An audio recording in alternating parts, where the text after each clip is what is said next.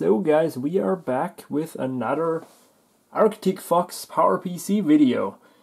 Actually, Christian Sigotsky, hopefully I said that right, uh, saw my other video and he's somehow involved in the project. Maybe he's a developer, I don't know. But he said that there is a newer version of Arctic Fox available, which I'm downloading right now. And he even posted me the download links. And what's also very interesting is he says that I can watch YouTube videos with the add-on ViewTube. So we'll of course try that. So here is uh, the download. It's even working now on Ubuntu 10.04, which is very awesome. When we go to their GitHub here, you, we can see they fixed quite a lot of bugs in this version. And there's also now a PowerPC version, an unofficial version though, uh, for 10.4 and 10.5. So it's also interesting to check that out. But we, of course, now here solely focus on uh, Linux. If you don't know, this is a PowerBook G4, 1.5 gigahertz, a gigabyte of RAM, and uh, it's running Ubuntu 12.04 LTS. So, um, yeah, in the original video I made, uh, the 1204 was the oldest, but now it should even run on 1004, which, uh, as I said, is pretty awesome. So let's unzip that one. So the, the version here I'm testing is version 27.10.1, and there's even a test version out right now, 27.10.2a. But I decided to take the um, the stable version. So here it is unzipped. That is now 27.10. And uh, the previous one I tested was 27.9. So a little update there. Let's see if that works, if it launches. It does. It's now currently set as your default web browser. Oh yes, I want to set this as a default web browser. Pretty good, awesome. Okay, so now we are apparently are at version 27.10. This is also including this bar here, which is nice. And uh, yeah, go to our website.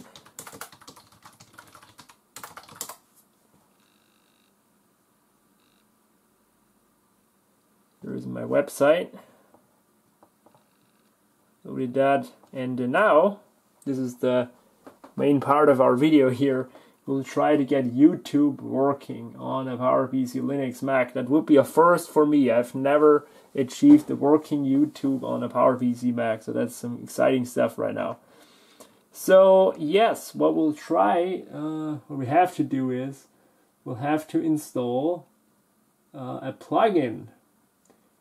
And uh, Hopefully that plugin still works in Ubuntu 12.04 because here they say it's 16.04. So uh, yeah, um, well, we'll just uh, cross fingers here that it works.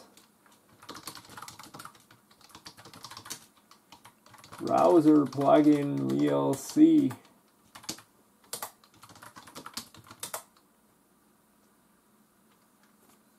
Okay, it found it. Great.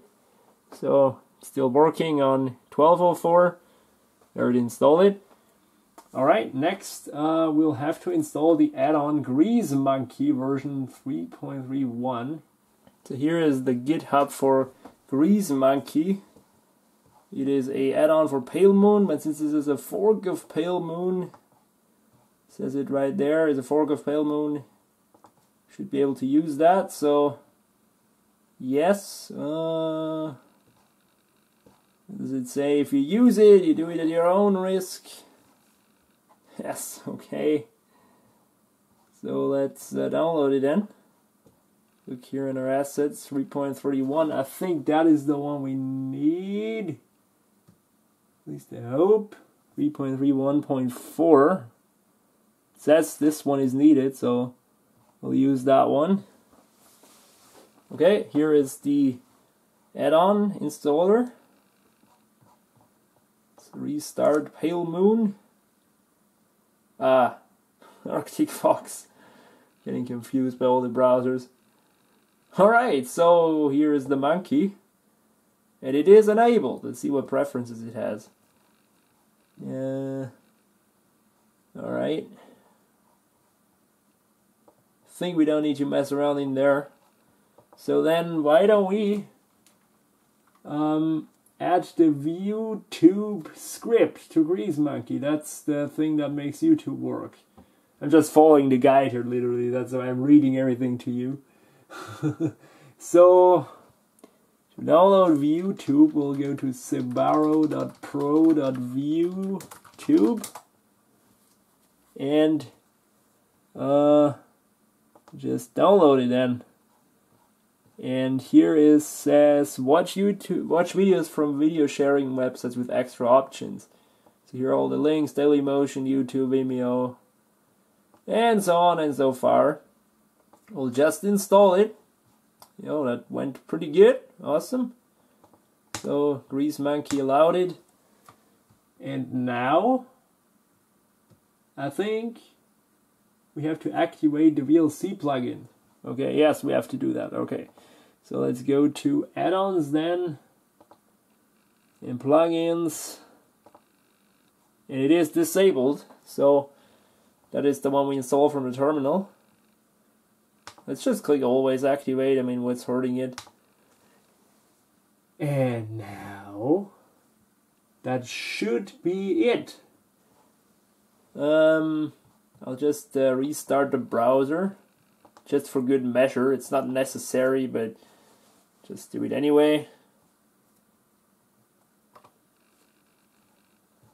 Let's see if it's still activated. It is, good. So, now let's try to play a YouTube video then. Let's go to youtube.com and try to play a YouTube video.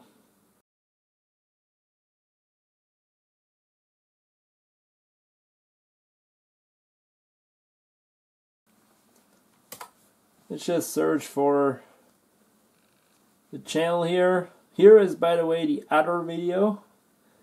And uh, yeah, why don't we try to play that?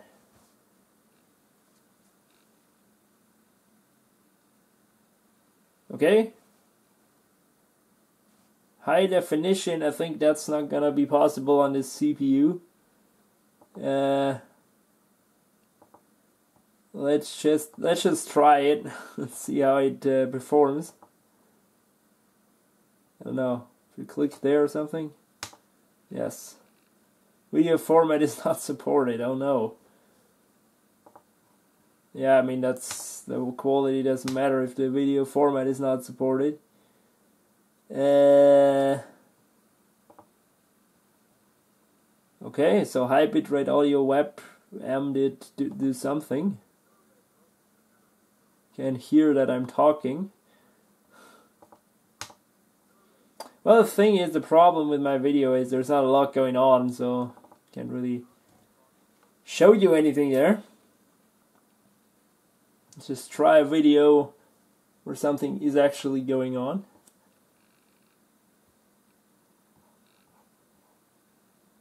Okay, let's start with low definition.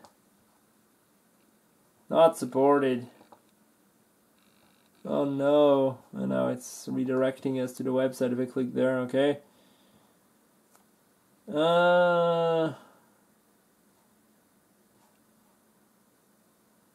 hmm.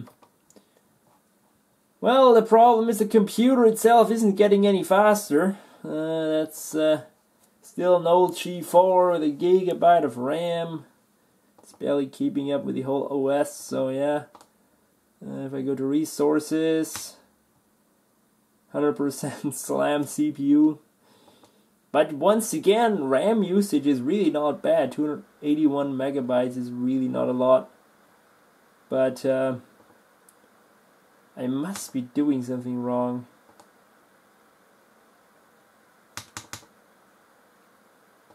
What are these three dots here? Hmm. Well, if the MP4 isn't working, why don't we try here, WebM? So yeah, I mean, it's good for listening to music now. So we're back here at this screen.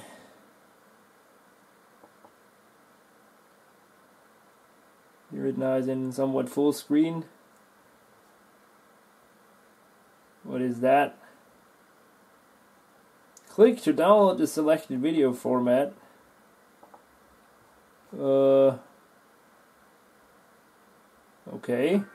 Yeah, there we go. So it's playing like in an external window, tab, whatever. So here you go, guys. YouTube playback on a Power PC. I knew I could get it working. Just didn't know that I have to press this other arrow, which is of embarrassing. Volume control there. There you go. I mean, this is a, a low quality video, but he played it smooth, no problem, nothing at all. If I, I mean, this is all just low definition there, so if I go, for example, somewhere else, this is a little fun uh,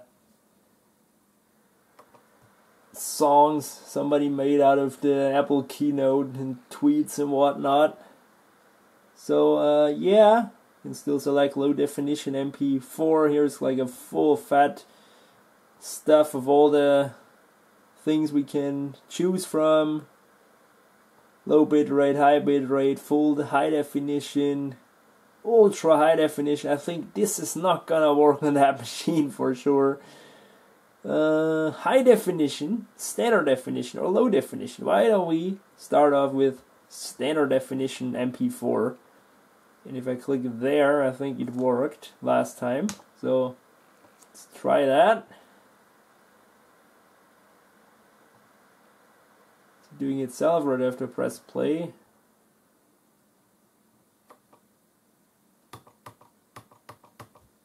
huh this MP4 I think I, I miss selected here yeah it's a selected MP4 again uh, I needed to select here WebM link.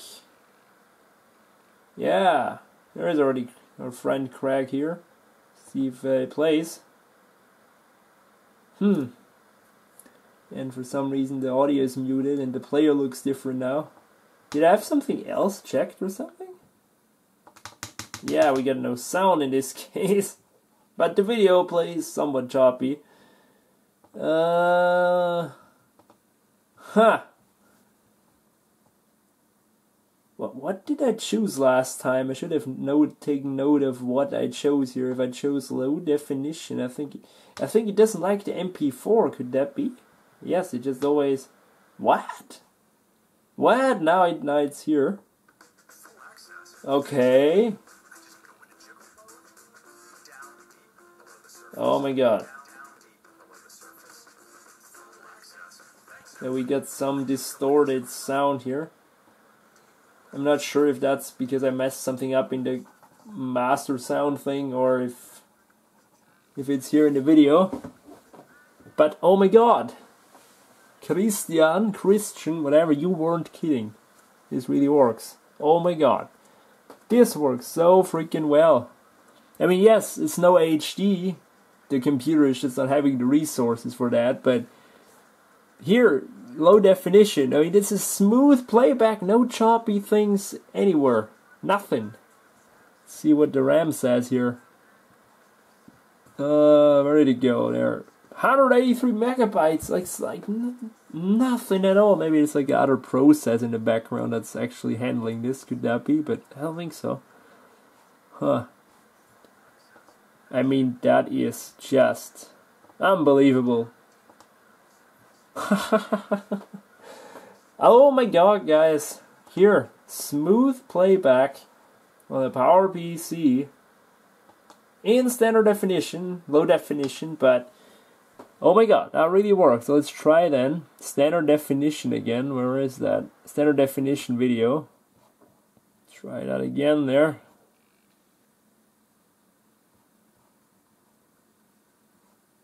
Okay, our sound is gone again. Oh, just just had it muted. Hmm.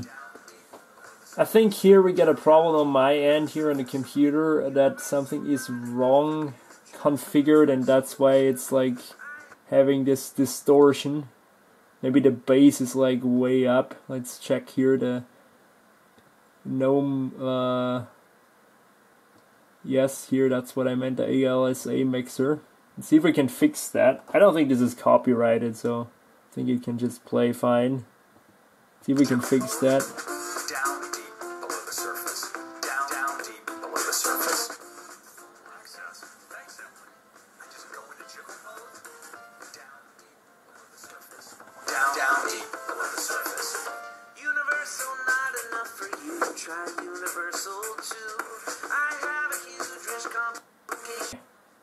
With this a little too much.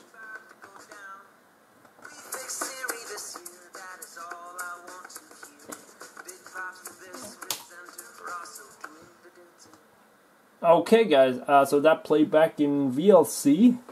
So let's try then. Why not try at least uh, high definition? Did we not choose? We, I think we chose no standard definition. Let's do high definition. HD. I think here it's uh, we'll be struggling. Alright, uh, doesn't want to start there, unfortunately. see if we choose this one.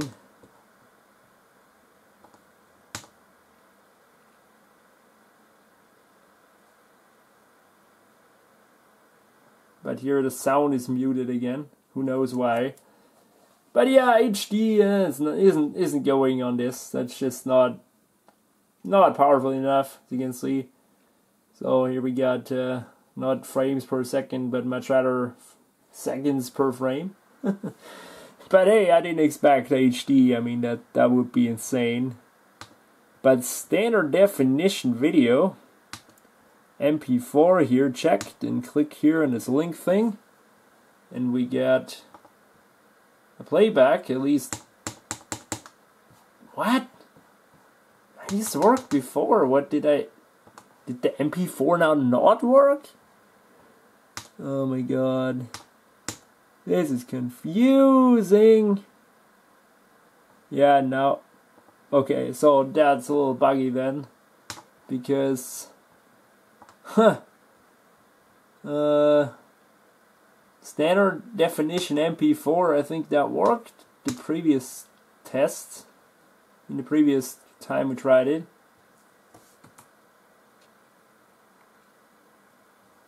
refresh also didn't do it. And low definition MP4. Was it that one maybe?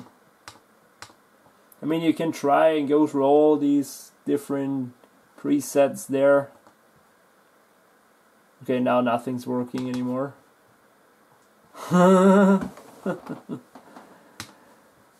Uh, yeah, that's kind of a bummer because it was just working so nice for some time. Let's do a refresh here. Maybe it needs a refresh once in a while. I mean, that's a big leap by far, but I still stand by my word. Why would you push yourself through this? I mean, it's just there's just no reason why really other than for the sake of it.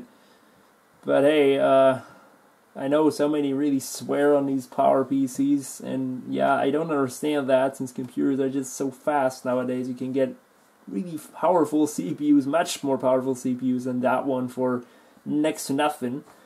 But hey, just my two cents. It's not not really uh, that I'm saying that this is a bad idea. This is actually great that some people still support these things.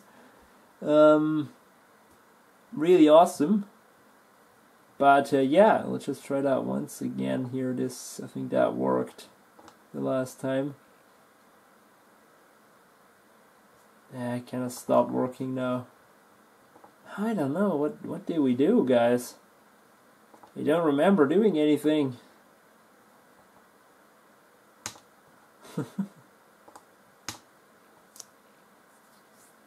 yeah, now it's so yeah, as you can see, standard definition, but without sound on in this case. So yeah, it's not not refined or anything, and not smooth, but it works. And uh, maybe if I restart the browser or something, it starts to work again. Just go to my website once again for the last time. See if we can do that uh, also in the embed. I'm pretty sure we can. Okay. Unfortunately, I think the if I were to add in my uh, URL here in the script we downloaded, I think it would have recognized it, but uh, in this case, it thinks it's not in the list, and that's why it doesn't show up there. Uh, I'm sure you can fix that rather easily, just adding the URL in the script, but I don't know how to do that right now. Anyway, guys, this is my quick little video. It turned out into a much longer video than I first thought and wanted, but here is a YouTube playback on a PowerBook G4 PowerPC running on 1204. You don't even necessarily need to go higher than that. Uh, it runs just as fine on this old operating system, so no reason for really going higher. I'm very sure it would perform much faster and nicer on like a MDD Power Mac or even G5 Power Mac. But here in a single core uh, with a gig of RAM, eh, I mean, this is not the fault of the developers at all. Nothing. They did an awesome job creating this browser and plugin and all the scripts. It's just that the computer is just too weak. But it can be done, and that that's making me pretty happy. So, yeah. here you go. My little test is over. I quite enjoyed it. Keep up the great work. Shout out to all the guys here that developed the browser. Uh, they just don't let these old operating systems die, so you can run these now on uh, version 10.4, 10.5, 10.6, 7, 8, 9, and and uh, Linux, and you know, great stuff. So Thank you a lot, and we will see us in the next video, hopefully. See you later.